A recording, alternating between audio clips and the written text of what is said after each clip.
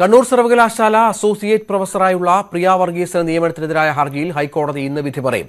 Justice ദേവൻ രാമേന്ദ്രനാണ് വിധി പറയുക. കഴിഞ്ഞ രണ്ട് ദിവസം നടന്ന വാദത്തിനിടെ പ്രിയ വർഗീസിനെതിരെ രൂക്ഷമായ വിമർശനമാണ് കോടതിയുടെ ഭാഗത്തു നിന്നുണ്ടായത്.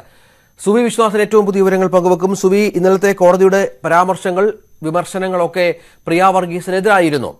എൻ എസ് എസിലെ സേവന കാലാവധിയൊന്നും അധ്യാപന പരിചയമായി കണക്കാക്കാനാവില്ല എന്നായിരുന്നു നിലപാട്.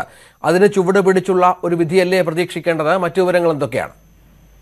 സ്വാഭാവികമായും ഇന്നലത്തെ നിരീക്ഷണങ്ങളെല്ലാം തന്നെ ഹൈക്കോടതിയുടെ നിരീക്ഷണങ്ങളെല്ലാം തന്നെ പ്രിയ വർഗീസിന് എതിരുള്ളതായിരുന്നു. അതുകൊണ്ട് തന്നെ സ്വാഭാവികമായും പ്രിയ വർഗീസിന് അനുകൂലിക്ക തരത്തിലുള്ള ഒരു വിധി ആയിരിക്കില്ല എന്നാണ് പ്രതീക്ഷിക്കുന്നത്. ഏതായാലും ഇന്ന് ഉച്ചയ്ക്ക് ഒന്നേ മുക്കാലോടുകൂടിയാണ് ഹൈക്കോടതി വിധി പറയുന്നത്. ജസ്റ്റിസ് ദേവൻ രാമചന്ദ്രനാണ് ഈ കേസ് പരിഗണിച്ചത്.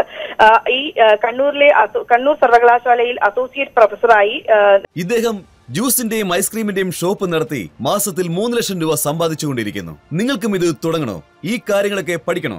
ഇംഗ്ലീഷ് ഫ്രീഡം ആപ്പ് ഉടൻ തന്നെ ഡൗൺലോഡ് യുള്ള പ്രിയ വർഗീസിനെ നിയമിക്കുന്നതിന്റെ ഭാഗമായി നടത്തിയ അഭിമുഖ പരീക്ഷയിൽ പ്രിയ വർഗീസിന് ഒന്നാം റാങ്കാണ് നൽകിയിരുന്നത്. എന്നാൽ കൃത്യമായ പ്രവൃത്തി പരിചയം ഒന്നും ഇല്ലാത്ത ഉള്ള ഒരാൾക്ക് എങ്ങനെയാണ് ഒന്നാം റാങ്ക് ലഭിച്ചത് എന്നത് വിമർശനത്തിന് വിമർശനത്തിന് വഴിയൊരുക്കിയിരുന്നു. തുടർന്ന് രണ്ടാം റാങ്ക് ലഭിച്ച ഡോക്ടർ ജോസഫ് ആ, ഇതുമായി ബന്ധപ്പെട്ട ഹൈക്കോടതിയിൽ ചെന്നത്. ആവശ്യത്തിന് പ്രവൃത്തി പരിചയം ഇല്ലാതെയാണ് പ്രിയ വർഗീസിനെ നിയമിച്ചത് എന്നായിരുന്നു ഹർജി. ഈ ഹർജി പരിഗണിച്ചുകൊണ്ട് ഹർജി പരിഗണിച്ചുകൊണ്ടാണ് ഇന്ന് ഹൈക്കോടതി വിധി പ്രസ്താവിക്കുന്നത്. കഴിഞ്ഞ ദിവസങ്ങളിൽ രൂക്ഷമായ വാദപ്രതിവാദങ്ങൾ നടന്നു. ഈ വാദപ്രതിവാദങ്ങൾക്കിടെ രൂക്ഷമായ വിമർശനം ഹൈക്കോടതിയുടെ ഭാഗത്തു നിന്ന് ഉണ്ടായി. അധ്യാപന ജോലി ജോലി അന്തസ്സുള്ള ജോലിയാണ് അത്.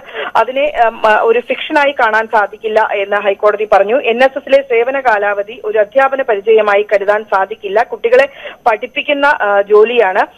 അത് ആ രീതിയിൽ തന്നെ നിർവഹിക്കപ്പെടണം എന്നായിരുന്നു ഹൈക്കോടതിയുടെ ഒരു ഹൈക്കോടതിയുടെ വിമർശനത്തിന്റെ അന്തസത്ത.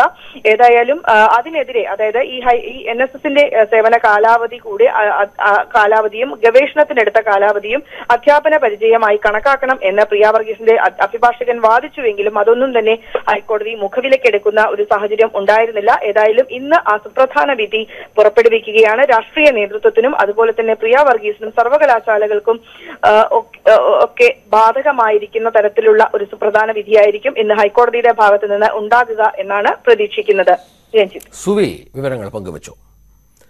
സാങ്കേതിക സർവകലാശാല വൈസ് ചാൻസലർ സ്ഥാനത്ത് നിന്ന് ഡോക്ടർ എം എസ് രാജശ്രീയെ നീക്കാനുള്ള സുപ്രീംകോടതി ഉത്തരവിനെതിരെ നിയമോപദേശം തേടാൻ സർക്കാർ ചെലവിടുന്നത് ലക്ഷങ്ങൾ. മുൻ അറ്റോർണി ജനറൽ കെ കെ വേണുഗോപാലിൽ നിന്ന് പതിനഞ്ച് ലക്ഷം രൂപ ഫീസ് നൽകി വാക്കാലുള്ള തേടാനാണ് സർക്കാർ തീരുമാനം. ഇത് സംബന്ധിച്ച ഉത്തരവ് പുറത്തിറങ്ങി.